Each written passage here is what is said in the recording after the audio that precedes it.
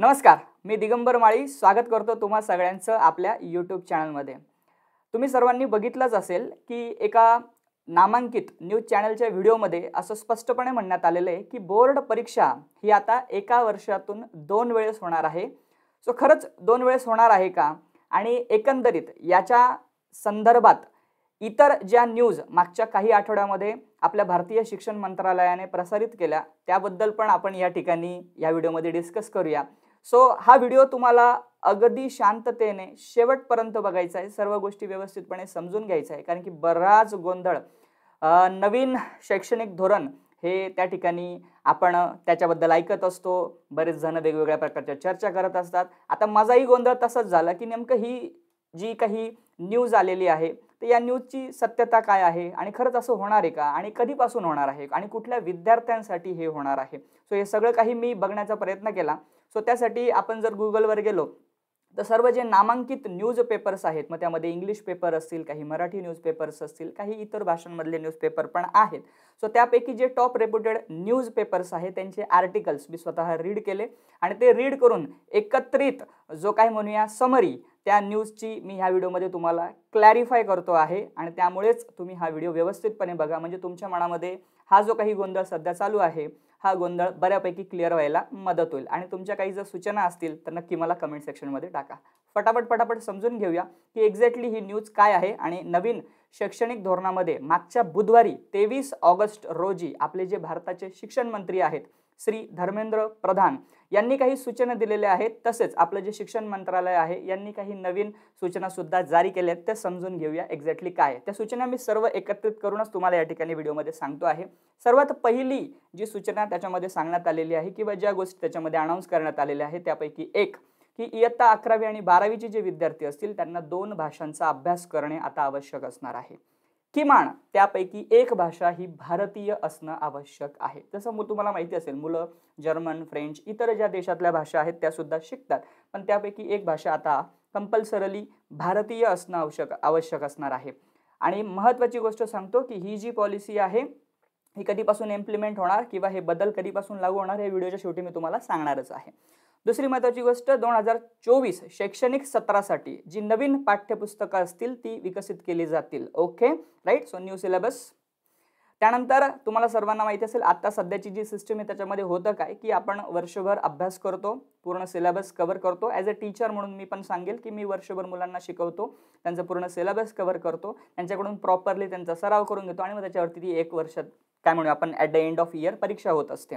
So आता ह्या गोष्टी शक्यतो गव्हर्नमेंट टाळण्याच्या मनस्थितीमध्ये आहे. पाठ्यपुस्तकाची जी किंमत आहे तुम्हाला सगळ्यांना माहितीच्या किमती किती आहेत आपण त्याच्यावरती खर्च करतच असतो. सो त्या किमती ज्या आहेत त्या अफोर्डेबल होतील अनुकूल होतील अशा पद्धतीने काही उपाययोजना केल्या जातील. आणि जो विषय त्या न्यूज चॅनलच्या व्हिडिओमध्ये पण आहे आणि इथे पण मी तुम्हाला तो क्लिअर करतो. अगदी बरोबर आहे. की बोर्डाच्या ज्या परीक्षा आहेत त्या वर्षातून आता दोनदा घेतल्या जाणार आहेत. आता दोनदा घेतल्यातील मग रिझल्ट कोणता पकडायचा? तर यामध्ये तुम्ही जर बघितलं असेल तर जे डबल ई ही जी परीक्षा आहे ती सुद्धा वर्षातून दोनदा होते. आणि त्या दोन वेळेस जेव्हा परीक्षा काही काही विद्यार्थी दोनही परीक्षेला सामोरं जातात काही विद्यार्थी एका परीक्षेला जातात. सो तो सपोज एखादा विद्यार्थी त्याने जर दोन वेळेस परीक्षा दिली असेल तर ज्या परीक्षेमध्ये त्याला चांगले गुण मिळालेले आहे सर्वोत्तम गुण आहे ते त्या ठिकाणी ग्राह्य कन्सिडर केले जातात. सेम इथे सुद्धा केलं जाणार आहे. वर्ड बोर्डाच्या परीक्षा या वर्षात दोनदा घेतल्या जातील आणि विद्यार्थ्यांना सर्वोत्तम गुण जे काही मिळालेले असतील ते ठेवण्याची परवानगी दिली जाईल. हे होते पाच पॉईंट त्याच्यानंतर पुढचा पॉईंट जो आहे बाळांनो किंवा बाळांनो मी असं का म्हणालो? कारण की नॉर्मली मी विद्यार्थ्यांसाठीच व्हिडिओ बनवत असतो पण हा व्हिडिओ आता सर्वजण बघत असतील सो माफ करा मला. आपण या ठिकाणी इयत्ता अकरावी आणि बारावीमधील जी विषयांची निवड जी आहे केवळ प्रवाहापुरती मर्यादित राहणार नाही विद्यार्थ्यांना निवडीची लवचिकता मिळेल. याचा अर्थ असा की आपण जर बघितलं तर सायन्स घेतलं तर सायन्समधले जे सब्जेक्ट ते मुलं स्टडी करतात आर्ट्स घेतलं तर आर्ट्समधले सब्जेक्ट स्टडी करतात सो तसं इथे राहणार नाही. मुळ मुलांना त्या ठिकाणी फ्लेक्झिबिलिटी असेल ते विविध काय म्हणूया आपण प्रवाहातील विषयसुद्धा निवडू शकता हे याच्यातून क्लिअर होतं आहे. त्याच्यामुळे ॲज अ शिक्षक म्हणून मलाही आता तयार राहायला लागेल. इतर ज्या काही भाषा आहेत किंवा इतर जे काही विषय आहेत त्यांच्याबद्दलची पण माहिती आपल्याला गोळा करावी लागेल. त्यासाठी अद्ययावत थोडंसं आपल्याला पण आता व्हायला लागणार आहे. काही महिन्यांचे प्रशिक्षण आणि स्मरणशक्ती आता तुम्ही जरी सांगितलं ते जर बघितलं तर यावेळेस जी काही परीक्षा होते किंवा इथून मागे जी परीक्षा होते त्याच्यामध्ये हेच होतं ना की आपण एका काही महिन्यांसाठी एखादी गोष्ट शिकत असतो मग ती लक्षात ठेवत असतो आणि मग बोर्ड परीक्षेला सामोरं जात असतो. ठीक आहे? सो आता तसं न करता मुलाचं खरं कौशल्य काय आहे? स्किल आहे काय? त्याच्या त्याच्यानुसार त्याचं त्याचं काय म्हणूया आपण असेसमेंट मूल्यांकन केलं जाणार आहे. ओके त्यानंतर एन सी एफ जे आहे त्याने सांगितलेलं आहे की सर्व पर्यायी विषयांचे तीन भाग केले जाते मुलांना ऑप्शनल सब्जेक्ट्स असतील त्या ऑप्शनल सब्जेक्टचे तीन भाग केले जाणार आहे त्या पहिल्या भागामध्ये तुम्ही जर बघितलं तर कला शिक्षण आर्ट एज्युकेशन शारीरिक शिक्षण म्हणजे फिजिकल एज्युकेशन आणि व्यावसायिक शिक्षण म्हणजे व्होकेशनल एज्युकेशन हे पहिल्या गटामध्ये असणार आहे. दुसऱ्या गटामध्ये मानवता सामाजिक विज्ञान आंतर विद्याशाखीय क्षेत्र म्हणजेच ह्युमॅनिटीज सोशल सायन्स आणि इंटरडिसिप्लिनरी एरियाज असतील. आणि तिसऱ्या गटामध्ये जे सायन्सचे विषय विज्ञान गणित आणि संगणकीय विचार म्हणजे सायन्स मॅथमॅटिक्स आणि कॉम्प्युटेशनल थिंकिंग हे असतील. यापैकी कुठला तरी एक गट किंवा काही विषयांची त्या ठिकाणी निवड ही विद्यार्थ्यांना करता येईल. याच्याबद्दल अजून क्लॅरिटी नाही आहे पण हे तीन गट तरी मिनिमम असणार आहे असं एका न्यूज आर्टिकलमध्ये दिलेलं आता तुम्हाला मी जेवढे पण हे पॉईंट्स शो केलेत ना तर हे सर्वच्या सर्व पॉईंट डिफरंट डिफरंट न्यूज आर्टिकल्समधून कलेक्ट करून मी तुमच्यासमोर या ठिकाणी प्रस्तुत करतोय.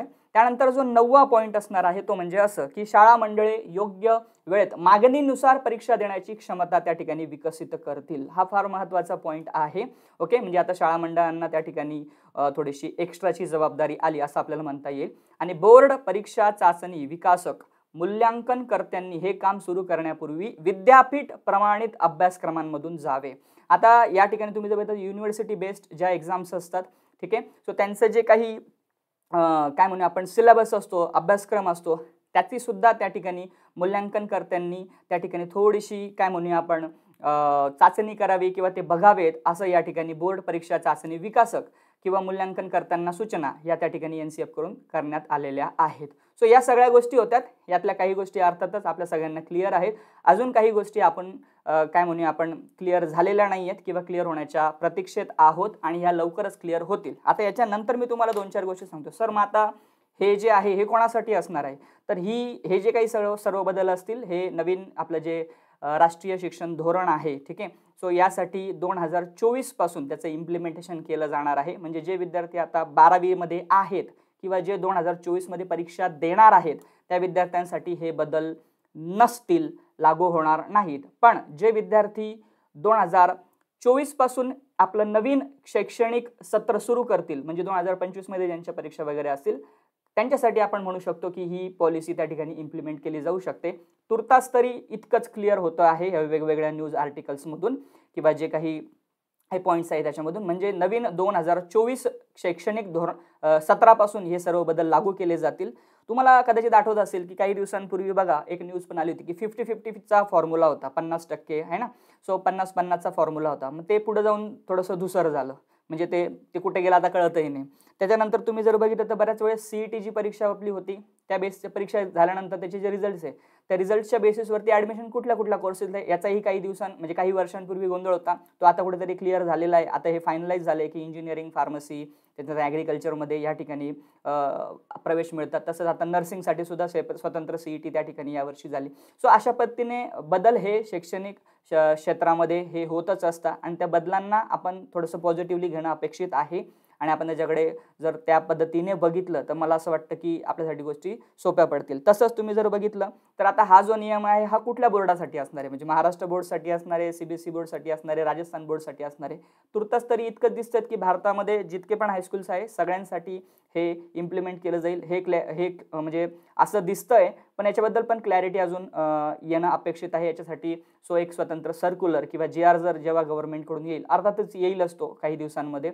आणि त्यावेळेस आपल्याला बऱ्याच गोष्टी या ठिकाणी क्लिअर होतील. ओके अजून एक महत्त्वाची गोष्ट की हे सर्वबद्दल दोन हजार चोवीससाठी जे विद्यार्थी आपलं शैक्षणिक सत्र सुरू करतील त्यांच्यासाठी आहेत जे आता बारावीमध्ये आहेत त्यांच्यासाठी नाही. ओके त्याच्यामुळे पालकांनी निश्चिंत व्हायला काही हरकत नाही. पण पुढे जाऊन हे बदल आपल्याला त्या ठिकाणी असणारच आहेत. सो आता सध्या आपण काय केलं पाहिजे तर काही नाही. हे बदल फक्त समजावून घेतले पाहिजे. आणि येणाऱ्या काळामध्ये अजून काय बदल किंवा काय सूचना आपल्यापर्यंत पोहोचत आहेत त्याची आपण दखल घेतली पाहिजे. आणि त्यानुसार आपल्यामध्ये समरूप बदल करणं ॲज अ शिक्षक म्हणून ॲज अ पॅरेंट्स म्हणून आणि ॲज अ स्टुडंट म्हणून आपण त्याला तयार राहणं अपेक्षित आहे. ओके सो अर्थात तुम्हाला या व्हिडिओमध्ये बरीच माहिती मी पुरवण्याचा प्रयत्न केला आणि तुमचं बऱ्यापैकी काम वाचवलेलं आहे कारण की सर्व न्यूज आर्टिकलची एकत्रित माहिती मी तुम्हाला या व्हिडिओमध्ये दिली. तुम्हाला ती आवडली असेल तर एक लाईक करून टाका. आणि तुमचे काही जर काही सूचना असतील किंवा तुम्हाला हा निर्णय कसा वाटला गव्हर्नमेंटचा याच्याबद्दल तुमचं काही मत असेल तर कमेंट सेक्शनमध्ये टाका. तुम्ही माझं चॅनल अकरावी आणि बारावीच्या विद्यार्थ्यांना सजेस्ट करू शकता. माझ्या चॅनलमध्ये मी मुलांना अकरावी बारावी सायन्स अर्थातच बायोलॉजी हा जो विषय आहे त्याच्याबद्दल पूर्ण इन्फॉर्मेशन देत असतो. मुलांचे M S T C T course असेल बोर्ड एक्झाम्स असतील याच्याबद्दल पण त्यांना क्लॅरिफाय करत असतो. हे माझं इंस्टाग्राम हँडलचं आय डी आहे आणि त्यासोबतच माझा व्हॉट्सअप नंबर आहे. तुम्ही त्याच्यावरती मला हाय म्हणू शकता. माझी पूर्ण डिटेल तुमच्यापर्यंत पोहोचून जाईल. एकदा डिस्क्रिप्शन बॉक्स नक्की चेक करा आणि नवीन असेल तर सबस्क्राईब करा आणि इतरांना शेअर पण करा. चला तर मग पुढच्या व्हिडिओमध्ये आपण नवीन काही गोष्टी नवीन टॉपिक्स घेऊन तुमच्यासमोर त्या ठिकाणी येऊया. तोपर्यंत जय हिंद. नमस्कार. भेटूया पुढच्या व्हिडिओमध्ये. बाय